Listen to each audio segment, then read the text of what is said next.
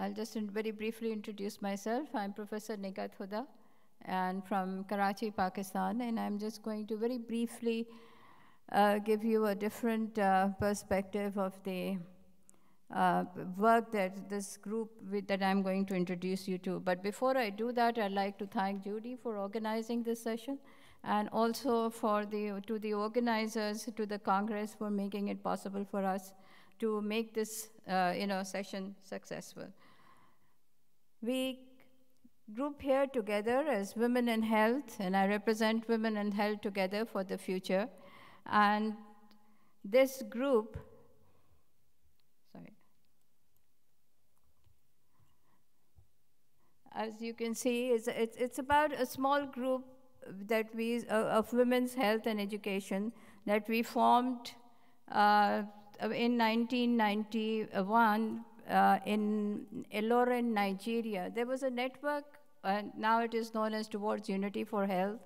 And we convened there at one, in one of their annual conference uh, in Ilorin in Nigeria, and it was a very small group of us, academia, belonging to academia from different countries, decided that there should be a women's and health group or a task force that would help build relationship between the academia, between universities, and work together for betterment of the communities, particularly on, on the issues related to women and health.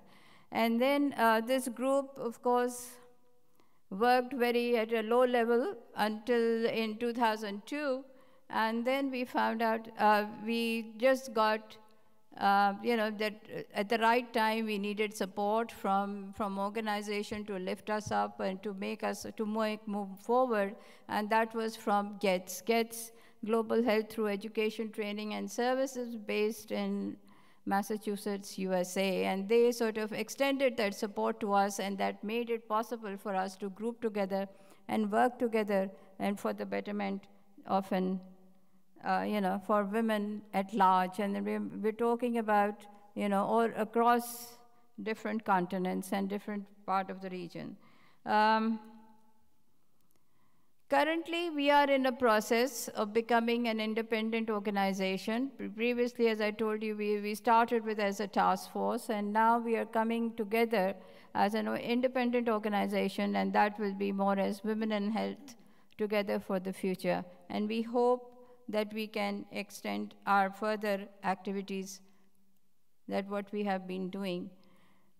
So you can see that we are spread across in several parts of the world, and you can see that our work is not confined to one continent or one country, but it runs across from, you know, if I can say from, I'm from Pakistan, from South Asia to South Africa, and we have work done Basically, we could have it in, in Cairo, work done by uh, different institutional members of the members of our group who have done work, and you can see in the pictures that it's more related to doing it community-based and women at the community level and working for them.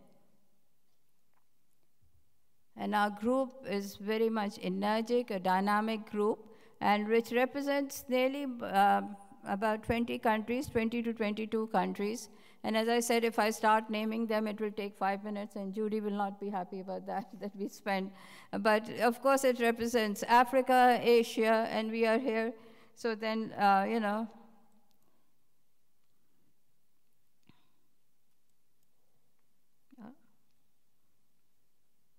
we move forward with the vision and what are we going to do now and why, uh, you know, when we have all worked together for the past so many years uh, together doing our work at the, in the local community, in the local context, and with partnership maybe at times with the university and, you know, doing the work, linking education and, you know, training of health professionals and providing them experiences in the communities. So we are looking at a world we're looking at women at a world where healthy, empowered women will be able to get recognition and contribute to their uh, communities in, in more positive way. And you could find that, and that's what we have tried. There is gender equity is a reality, and women's health right as a major uh, res are respectful. So the mission is more or less to working with communities to learn women's perspectives, almost what they, sorry.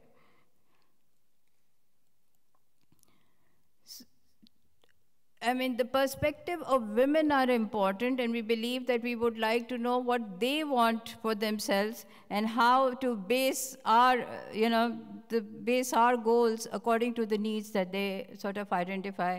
And then to help mentoring them, and that's very important that we do, we give support, but they lack mentoring them for the leadership position, for being leaders in health, how to promote health, and how to look after the betterment of the community that they belong to as leaders in health.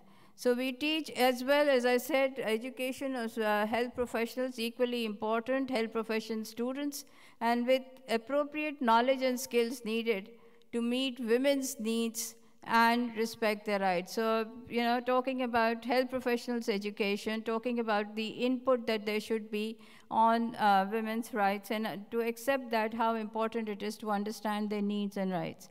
Then also the other uh, that we look at is to fund skills development, how to grow that. I mean, you know, how to develop their skills in, in terms of to assess their problems and improve healthcare. So we're looking at funding at skills, you know, funding of their skills.